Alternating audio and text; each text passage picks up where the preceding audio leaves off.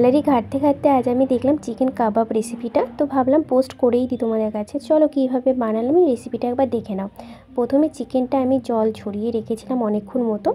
তারপর এর মধ্যে অ্যাড করেছিলাম ভিনিগার এক চামচ মতো। তারপর দিয়েছিলাম সামান্য একটু নুন।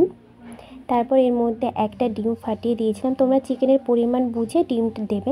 এক কেজি চিকেন থাকলে তোমরা দুটো ডিম ফাটিয়ে দেবে। তো তারপর আমি এখানে আদা রসুন পেস্ট অ্যাড করেছিলাম আর দিয়েছিলাম সামান্য একটু লঙ্কার গুঁড়ো, যেটা তোমাদের এখানে দেখানো হয়নি, আমি ভিডিও ক্লিপ করতে ভুলে গেছিলাম। তারপর এক প্যাকেট চিকেন কাবাব মশলা পুরোটাই লেগে গেছিল, সেটা দিয়েছি। আর দিয়েছিলাম কর্নফ্লাওয়ার সামান্য একটুখানি কর্নফ্লাওয়ার দিয়েছিলাম। তো তারপর ফ্রিজে আমি রেখেছিলাম আধ থেকে এক ঘণ্টা মতো। তারপর এটা ফ্রাই করেছিলাম। দেখো কত সুন্দর লাগছে, দেখতে খেতেও কিন্তু অসাধারণ হয়। চা কিংবা কফির সাথে ভালো হয়। আর সন্ধ্যাবেলা স্ন্যাক্সে কিন্তু পুরো জমে যায়। আমি সেদিনকে পার্টিতে করেছিলাম লস্যির সাথে। আর তোমাদের যদি রেসিপিটা ভালো লেগে থাকে, তাহলে অবশ্যই একটা লাইক করে দিও। আর চ্যানেলটা সাবস্ক্রাইব করো। আর কমেন্ট করো অবশ্যই কেমন লাগল রেসিপিটা চলো তাহলে, টাটা।